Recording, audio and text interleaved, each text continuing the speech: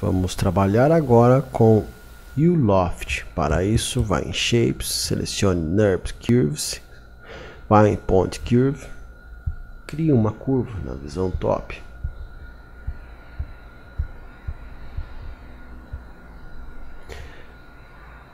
Na visão Front, faça o mesmo. Faça duas linhas perpendiculares uma à outra.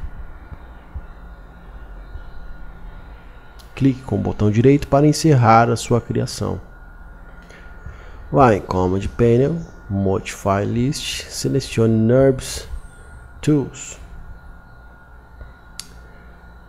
O Loft faz, cria, cria superfícies em U. Vamos na janela Perspective. Vai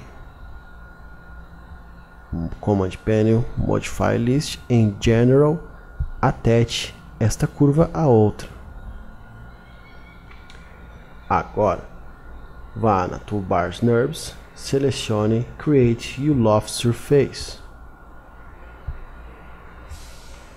Clique com direito para encerrar a seleção. Veja a superfície NURBS que foi criada com o U-Loft.